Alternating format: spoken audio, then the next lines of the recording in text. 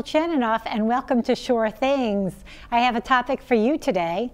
Today, you can have a smile on your face because we're talking about happiness. And to help with our discussion, I'd like to welcome Tina Garrity. Tina is facilitator of the Madison Happiness Club. Hi, Tina. Hi, Mary. Nice to see you. Nice to see you too. Welcome. Welcome Thank to Sure you. Things. So, wow. today uh, we're going to discuss happiness and, yes. and your work at, uh, and volunteerism with the Happiness Club. So, welcome. Can, can we start with you telling us a little bit about your background?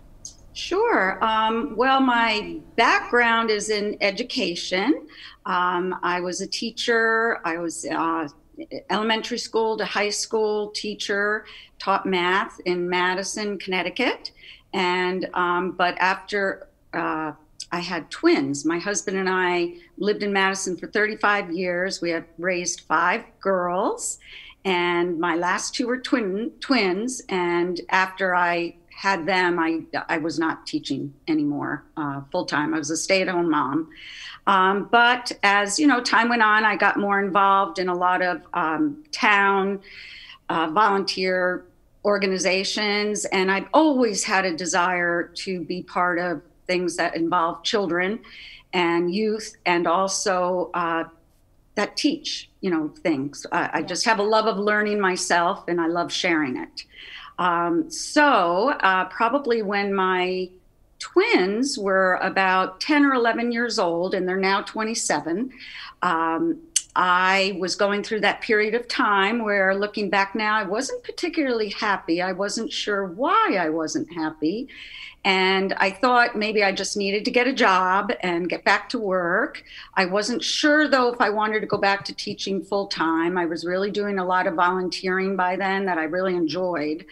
And um, so I was talking with some women one day, and one of the women mentioned she was getting feeling like I was feeling, not sure about, you know, what she was going to do with her life, blah, blah, blah.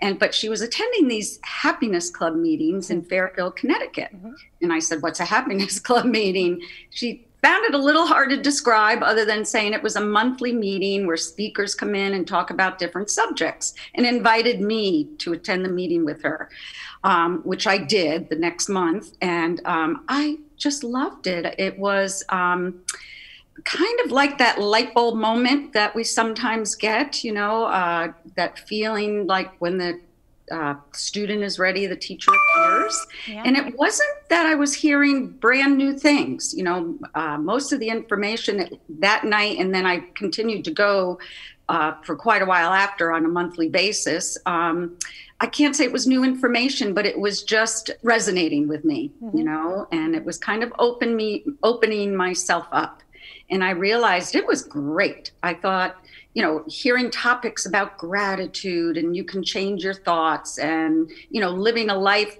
full life to your full potential and all those type of things sounded exciting. And i wanted to share it with other people so i asked lionel ketchian who's the founder of the happiness club um, if i could do the same thing up in madison. And he was thrilled because he's he's pretty much an expert in the field of happiness has studied it for years. He taught a course on happiness at Sacred Heart University back in 1999, I believe it was, and kept it going as a club, which was very popular. When I would go to these meetings in Fairfield, about 100 people were going to them. It was, wow. you know, yeah, very well attended. And um, he, so he was thrilled because spreading happiness is his goal. and, uh, and I planned my meetings much like his. I, I held them at the library in Madison and um, had speakers. I knew I wasn't an expert on the topic, and there's a lot to happiness. And I knew I wasn't the expert, that I needed to invite experts in, which I did. And, you know, people who uh, want to share knowledge and share knowledge that really can help other people are very willing you know to talk i found. So i really didn't have a problem finding people. I was able to offer these meetings for free because the library said they wouldn't charge me as long as i didn't charge for it. And lionel wasn't charging either so i was very happy to do that because like i said i just thought it was something great and worthwhile to share and, and it, and it satisfied that teacher in me. I could be that teacher again, you know, yeah. introducing the speakers and kind Being of that facilitator. And, yeah. Yes, exactly. And and I also started on a path to learn because it was like an exciting new subject for me. And this I started in 2006. So it was also before the field of happiness started to really explode in the news. Yeah. And um, now it's it's a very popular subject, as you have found out. Yeah. And yeah. we're all desperate for it, you know, and especially right now, it's such a difficult time. And I think there's nothing more personally in life than to really be happy. And I'm my definition of happiness is that inner serenity that you feel, you know, that kind of knowing that life is overall good, you yeah. know, and all will be okay. You know, and, I, and, I, and I did when I when I was looking up uh, more information about it, and I did see Lionel had done an interview, um, one of his interviews, and he talked about uh, happiness as well and his definition of happiness. And, and it was interesting, he was calling it like uh, a frame of mind, like a choice. You have a choice to choose happiness. And I also saw that he worked, worked with Bernie Siegel. Bernie, yeah. uh, who was very well known uh, in, yeah. in psychology and positive psychology. So that was so interesting to see that connection. It goes that goes way back. I was curious though when you said how where you were at when you went to that first meeting down in Fairfield and whatever it was resonated with you. I wonder, do you remember any of those early topics that, you know, you walked in and you were so impressed that you, you made that connection, that it spoke to you? Yes, I have to say, one of those early meetings I went to at his club, Bernie Siegel was a speaker, wow. and um, he's wonderful to listen to. And um, so he was great. And then a, a, speaker that first, one of the first ones that really spoke to me was a woman who talked about um, how you can imagine things, and then what you imagine, you can make a reality. Mm-hmm. And uh, that was new for me then. I didn't, you know, read up on anything like that at the time. And um, there's been a ton of research on on that now too. But I decided after hearing her, I was very intrigued and I took one of her workshops. She offered workshops. Um, and I, I decided to do that. And because I was very torn at that time of what am I going to do? I want to go back to work or something, but what what do I want? you know, yeah. and that was the type of workshop she was holding. You know, of uh, how to figure out not just as far as work goes, but the things you want to bring forth in your life. Yeah. And um, now people do these vision boards and yes. all that sort of thing. And like I said, it was before that was popular. So um, I took her workshop, and while I was at her workshop, I realized I kind of wanted to be her I wanted to be a, a, a, workshop leader and be able to give out this type of information. My problem at the time was that I had a fear, a big fear of one, not being knowledgeable enough. So I didn't know what I wanted to hold the workshop on. And two, a fear of public speaking, which is a fear that a lot of people have. I'm not alone in this. Mm-hmm. And at the time, it was much more of a fear than it is now. And one of the things that I heard attending these happiness club meetings was how we need to work through fears, that fears stop us from really enjoying a lot of things in life. And the only way you can deal with the fear really is to walk through the fear. Yeah. So I became determined that that was something that I was going to do. That I, yeah. I would I would hold these type of meetings, even though I was a teacher. You know, I, I could teach in front of a classroom of kids, and I could have those parent nights. That didn't scare me, but just talking like this, even yeah. doing something like this back then, I would have been probably full of anxiety for days. You know. well, you're doing a great job. So obviously, you have worked through that fear, which is I, wonderful. Yes, I have, and it's not that I don't still get scared, and that's yeah. one of the things I learned. It's not that you don't you totally do away with these things, but you learn to manage them you and not have to be yeah. stuck with them. I, I, do agree with what you said as far as too it's, it is a, a common topic now especially with the pandemic uh, but i know uh, it was Laurie Santos from yale mm-hmm. university actually became very well known for her free classes she was offering online on happiness. Uh, and because she saw in her in-person classes they, they, would just fill up. Students loved the topic and loved uh, and i don't think people realize the whole science behind it as well. Um, when And I and I'm, I'm so curious. You know, you said you had five children. I didn't realize you had five girls. So Yeah. I, I wonder what the key to happiness was in that household. Oh, well, realizing I wasn't totally in control. Okay. you know that um and that's that's also something you know to that as i read on this subject and got more enlightened on in the field of happiness that um, we do learn that there's very little that we're in control of really um, but what we are in control of is our attitude that we bring to situations. You know, I, I can't control a lot of the circumstances like COVID, but I don't have to sit here miserable about it happening. And I remember reading something the, uh, I believe it was the Buddha said, that all suffering was a result of uh, non acceptance of things and how big it is really to learn to accept what happens in life. You know, it's the resisting it, the fighting against us that causes us to then suffer. Right, and that, that goes along with what you said about working through the fear. And Correct. it even- goes back to Lionel's thought of, um, and his message that happiness is, is a choice you make. You choose to face the situation and be as positive as possible and have that attitude and work through that, which, Correct. which does help in, in so many ways. Um, as I was doing a lot of the reading, do, I was going to ask you about that. Do you have any books or readings that you do on a regular basis when you, when you think about this topic? Um, uh, ooh, yeah, I should have uh, given you a list because I had quite a few books that I um, are, are my favorites. I, I there is a conversation, mm, and I believe it's called grateful gratitude or gratefulness of the Dalai Lama and um, uh, Desmond Tutu, and it, it's it's all about happiness and gratefulness. Um, uh, uh, Zen and the Art of Happiness was one of my favorite books in the very beginning to read.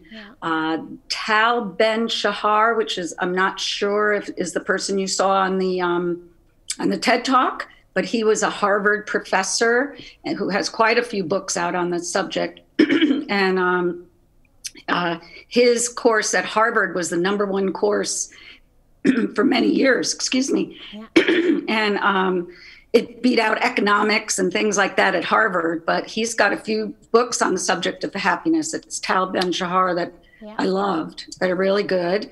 Um, the father of positive, excuse me, psychology is um, Martin Seligman, and he has a number of books out. Oh, I, I have so many over the years that I've loved, and of course they're not but you- popping but you- into my mind. I'm, I'm just curious about that because it sounds like you still keep up with the information. I mean, right now it's got to be so difficult with no in person meetings.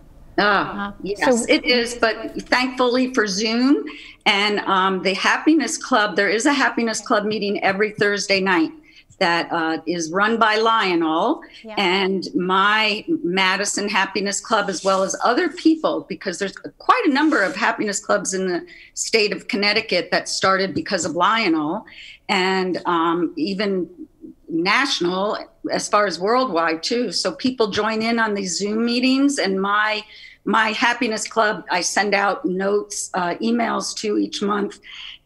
and let them know that these happiness club meetings are continuing but they're on zoom through lionel. And every now and then i i mean i'm on there as far as Yeah. zoom goes and part of it. And then other speakers you know will be there as well. And he, he tries to have a totally different topic every week. And mm-hmm. a lot of it in the beginning focused on how to be happy through this pandemic you know because as you said this is a time that a lot of people were Mm-hmm. struggling and still are struggling. Well, we're going to take a short break, and when we come back, Tina, I'd like to talk more about that ideas on how to stay happy during the pandemic and some of your future goals. We'll be right back. okay thank you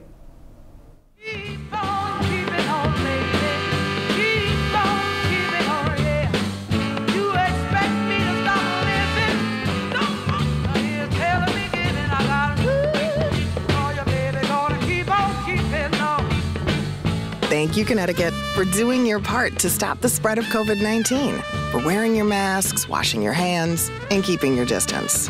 So keep it up, Connecticut. We've come too far to go back.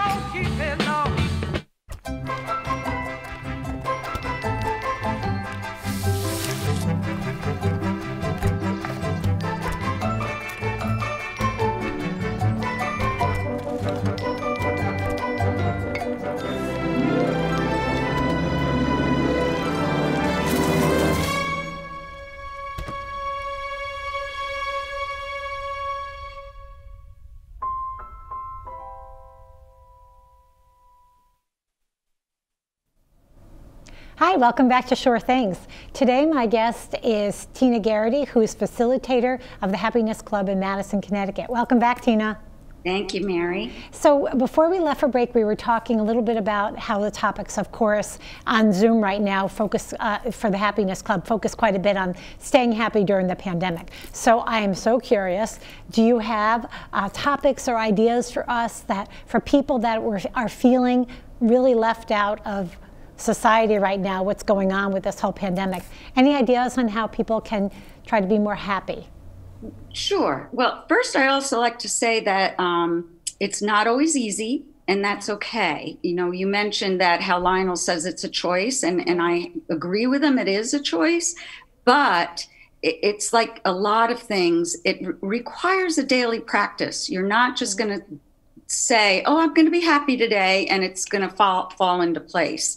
There are things that you need to kind of maintain, and the biggest one really is working on your attitude. You know, and um, I'll let you know what the experts have to say right now um, because I have been reading up a lot on that, and um, all of them kind of repeat the same things, which is to the basics as far as you know to eat. Make sure you eat right get enough sleep, exercise, you know, those basic things.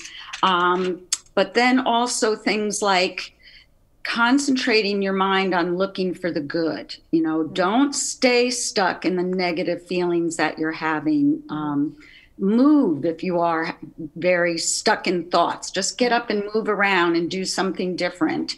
Try to like really live in the present not focusing on what happened in the past or what could happen in the future because neither one are real. You know the past has already happened.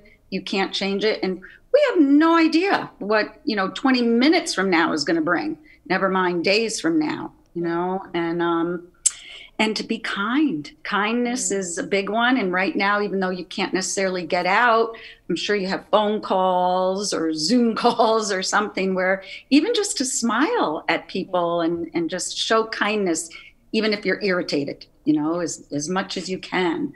Um, or if you can be there to, to help a family member, do whatever you can to help other people yeah. is always important because it gets you out of yourself, thinking about yourself and that's probably the whole whole thing in a nutshell is yeah. us getting out of our heads because we all tend to go down that negative path. We just do. Our, our brains have been trained to do that since caveman days. And um, now you hear a lot of talk about neuroplasticity yes. um, which is nothing more than being able to change the pathways in our brain. And they know that's possible And I've, I've had a firsthand experience with that actually. Um, my husband, Kevin, had a stroke a little over a year ago. And it was a pretty significant, serious stroke. He had a lot of damage happen. And um, the doctor, the neuro doctor, told us that that area of his brain that was damaged was dead. It was never coming back. But the brain will make new pathways around it and the key is to do the work you know so he had to do rehab and all these different things and he's come amazingly far so it is possible to change our thoughts even when we feel ah, i can't do that or yeah.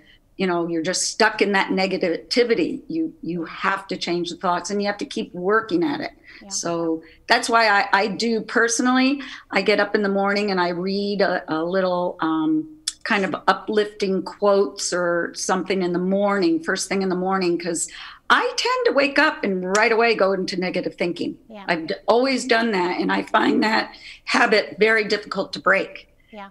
So, so you um, have found ways to, to deal with that, though. To, so it sounds like some of the topics that might have been recent are, are these some of the topics that were recently part of the happiness oh, club oh, yeah. meetings? I'm hearing like exercise and health and self care. Yes, the, because yeah. there's definitely the mind body spirit yeah. connection. So the topics all generally kind of fall into those categories. Um, I've had speakers over the years uh, talk about things you wouldn't think would be related to happiness, like depression. um, but it's about the journey through. You know, it's possible to get through these things. Yeah. And those are the speakers I found over the years to be. I don't know best is the right word, but to draw the most attention, I guess. People who've really gone through difficulties and then want to share their stories um, because we're all going to go through difficulties Yeah. at some point. And um, if you stay stuck in the difficulties of life or the things that are handed to you that are sad, we will go through them. But if you stay stuck, that's where you become bitter and depressed and resentful and all those negative things.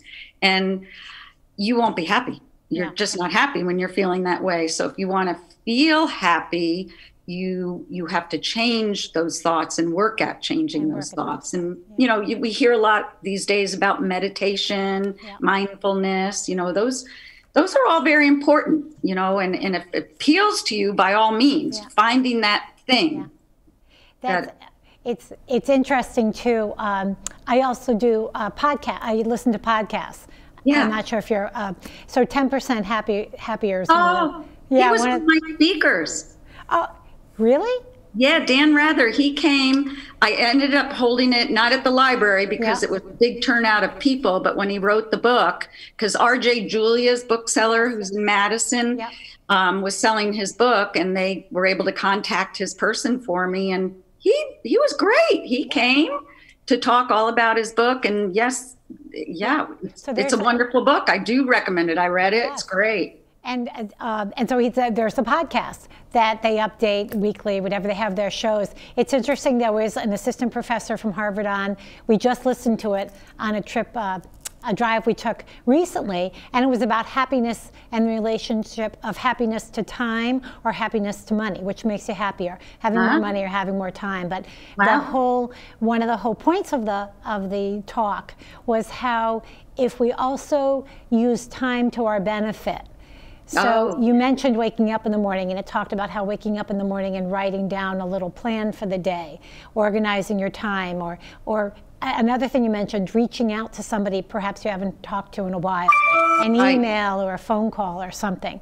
But Right. it was a very interesting perspective to take a look at how you use your time and how you can actually control your time or organize your time is a better word to Mm-hmm. help to actually have you feel and be happier.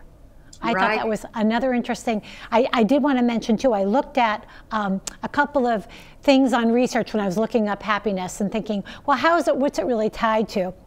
And some of the topics in research are what economists can learn from happiness, the use of happiness research on public policy. Um, so it goes through all different veins of science and society, the impact and the science of happiness. I found that fascinating.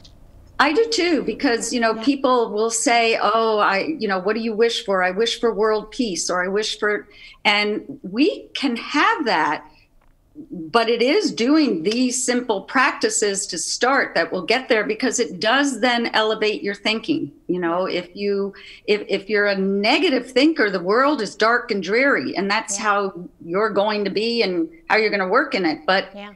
If, if you can change that and look at it from the perspective through the happiness kind of lens, we can create a kinder, gentler, Right. more beneficial because you you it's like a vicious cycle, a good vicious cycle that the happier you are, the more you want to help other people, you know, and the more you help other people, the better you feel about yourself. That's and then it, it just That's- repeats, you know, so so it's true. a pay it forward And I, you know, it sounds like too when, when we talked earlier about your background, and you talked about your volunteerism and how that was also probably for you satisfying that piece too to, to feel Correct. happy, and and how that can also help many of us, especially even in the pandemic, when there, if there's things we can do virtually or just helping in some way, uh, it can help us feel better too. you know it's the classic um, giving is receiving Yeah. you know you receive when you give and it, it's it's true you, when, as soon as you that's that light bulb going off as soon as you find that to be true it's such a good feeling you good- do you journal as well? Um, I do not necessarily every day, Yeah. but I have tried them over the years. Um, doing the the gratitude journals for happiness are big because gratitude, I find, no matter what I read, is like the number one concept almost. If you really want to be happy, you need to develop an attitude of gratitude. Right. You know, Attitude, I like that. I Yeah. like that very much. Well, I want to thank you again, Tina. Garrity Oh. uh, from the Madison Happiness Club, and we know if we, um, if somebody wanted to find out more information, they would look for your connection, and Yes. you and they'd be able to see how to to get on these Zoom. Yep, club happinessclub.com is, Okay. is a website run by Lionel, but he would connect to me and to other Happiness Club Okay. uh, facilitators, and or you can find out about the Zoom link on Thursdays, or anybody could email me. Should I give my email? No, I think that's fine. We'll have it right there um, with, with your name. People can find you. So uh, once again, I want to thank you, Tina, for being part of the show Tina. today, and I and I hope that helps some people when we think about being happy, especially during these challenging times. Absolutely. So, right. Thank so, you, Mary. Thank you. Till next time, take care and see you soon on Shore Things.